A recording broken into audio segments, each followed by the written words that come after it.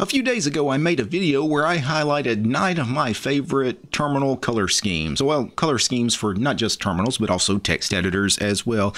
And really, these terminal color schemes, they could be applied to all kinds of programs such as Conky, such as your window manager, your window manager's panel or bar. And that's kind of what I spent the last few days doing. I took those uh, nine terminal color schemes and I've made configs for Conky, Xmobar, dmenu, Alacritty.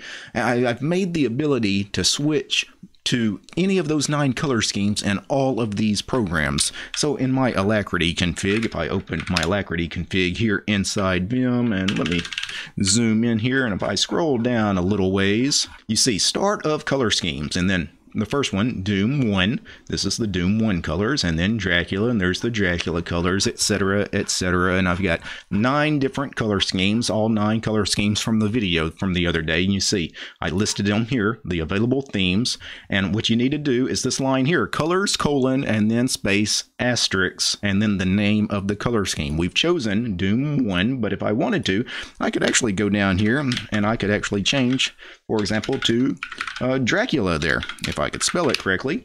And there you go. It immediately changes Alacritty to the Dracula color scheme. You don't actually have to close Alacritty and restart it. It's just a, a, a hot swap right there. so and that immediately changed to the Dracula color scheme. I wanted to change my Xmobar panel to one of these nine other color schemes. I, have configured that. That is done through my Xmonad config. So what I would do is I'm going to launch Doom Emacs.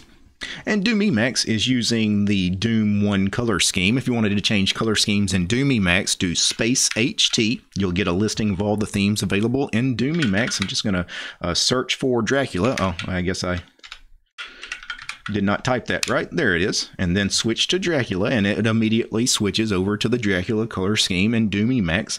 Now, let me open up my Xmonad config, and let's go ahead and change the Xmobar to the uh, uh, Dracula colors. So I'm going to scroll down here to the end of my config. And at the end of the, my config, I'm launching uh, three different Xmobars on three different monitors. But the one I'm recording here, Doom-1-Xmobar RC, these are the Doom 1 colors. But again, I've created nine different Xmobar RCs for each of the nine different color schemes, including Dracula-Xmobar RC. So let me save that and export that to xmonad.hs and then restart. Xmonad and you see, Xmobar now has the Dracula color scheme. Alacritty has the Dracula color scheme. Doom Emacs has the Dracula color scheme. And lastly, if I wanted Conky to have the Dracula color scheme, uh, let me go to the top of the document here to my auto start hook.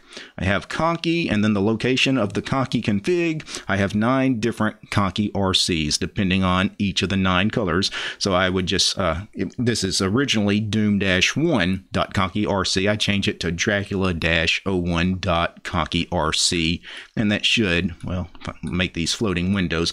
We'll change this, which is currently using the Doom 1 colors. That should change it to the Dracula colors, but because we've already uh, launched it, I'd have to actually kill the Conky and restart it from the command line. Or what I could do now that I've changed this, I'd have to actually log out of Xmonad and log back in to make the Conky change take effect.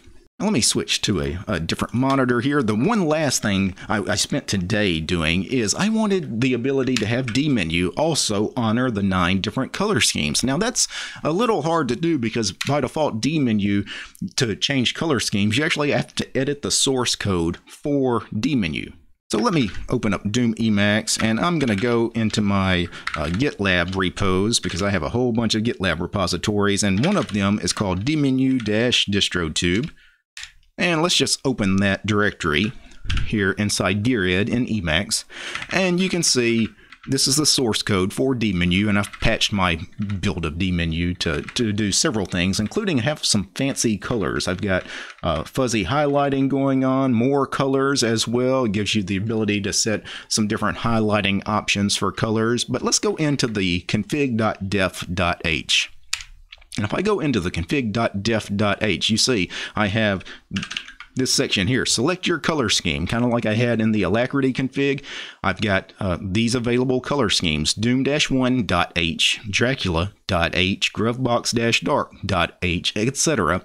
And what was here before was a block of various code that uh, set your colors. Now, instead of having a block of code that you'd have to come in here and change all of the uh, color options, I've included this line here. Include and then the location to the source code for this. And where the source code is going to be located is actually when you install my build of dmenu, it should put this in slash opt slash dmenu dash distrotube slash colors slash and then name of the color scheme dot h. For example, doom1 dot h. Or since we're changing to Dracula, let's do Dracula dot h. And then actually, let me cd into uh, that directory. And I'm going to do a sudo uh, make clean install and and remove config.h and if it builds correctly, and it did, now my dmenu should also have the Dracula color schemes, which that is definitely the pink from the Dracula color scheme. If I uh, start doing a search, yeah, you can see I've got some of the green uh, highlighting as I'm typing ALA for Alacritty. Now, if I wanted to, I could go over here to Alacritty, and many people don't know that you can do this in dmenu. You can actually do multiple selections inside dmenu with control return. So if I do control return while I'm highlighting the word Alacritty, I just selected Alacritty to launch, but I can go and search for something else to launch as well. And you see the Alacritty uh, is blue in color, and I've set that in the config. And what will, that will happen is when I find something else I also want to launch, for example, ALSA Mixer, you know, I could do control return or just return and it should launch all of that. Of course, ALSA Mixer is not going to launch because it has to be launched inside a terminal. You can't just launch it directly from DMenu. But I just wanted to briefly highlight that you do have the ability to launch multiple things from DMenu at a time. And once again, editing this line, this include line and config.def.h if I wanted to change from Dracula over to uh, solarized light you know, I went ahead and again, I've got all nine color schemes available, not just in Conky, Xsmoke Bar, Alacritty, and Doom Emacs. I also now have that ability in dmenu as well. So now I just need to recompile or sudo make install here. And now I've got the uh, solarized light color scheme here. And once again, if I do control return to do multiple selections, you see that's the blue from the solarized theme and the pink from the solarized theme. And of course, it's going to launch Alacritty since I had it selected.